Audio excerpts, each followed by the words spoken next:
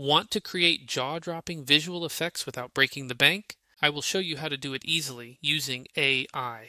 Today, I will show you how to create mind-blowing VFX using the free AI tool, Minimax. By the end of this video, you'll know how to make eye-catching effects for social media or even elevate video productions on a budget. Plus, near the end of this video, I've got a super cool trick you won't want to miss. But before we get to that, I'd love for you to click that subscribe button.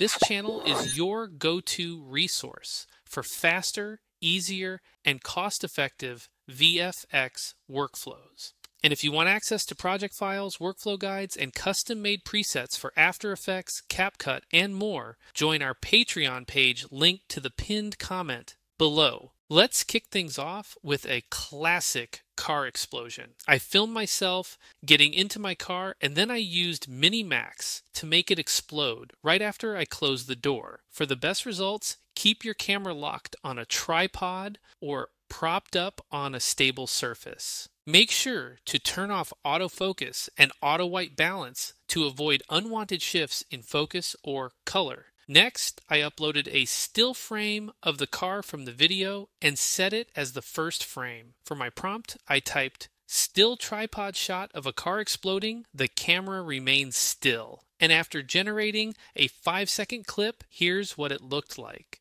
Wow, this is crazy good. The fire and smoke simulations look incredibly realistic, and the camera remains perfectly still, making it easy to blend into the original footage. Before we move on, AEJuice is having an insane Black Friday sale where you can get $8,000 worth of templates, footage, presets, sound effects, and more for only $149. And if you use our link in the pinned comment below, you'll get an additional 10% off.